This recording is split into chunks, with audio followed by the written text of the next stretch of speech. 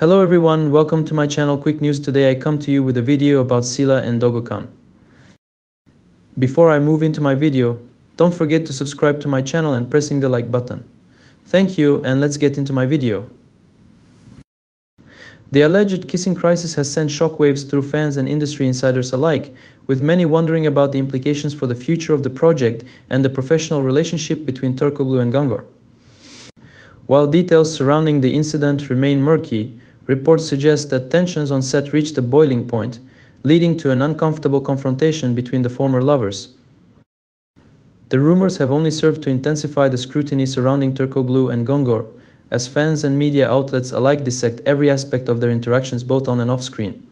Speculation runs rampant about the true nature of their relationship and the events that led to their reported breakup, with conflicting accounts and rumors swirling in the gossip mill.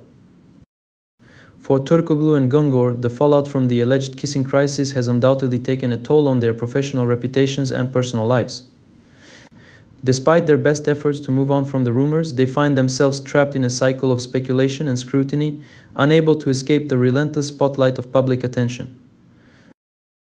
As the dust settles on this latest scandal, one thing remains abundantly clear the alleged kissing crisis has thrust Turkoglu and Gungor into the center of a media frenzy leaving them to navigate the turbulent waters of fame and notoriety with grace and resilience.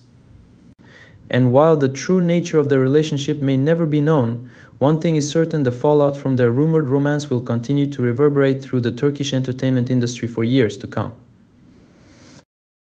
Thank you very much for watching my video. See you in the next one. Take care and goodbye.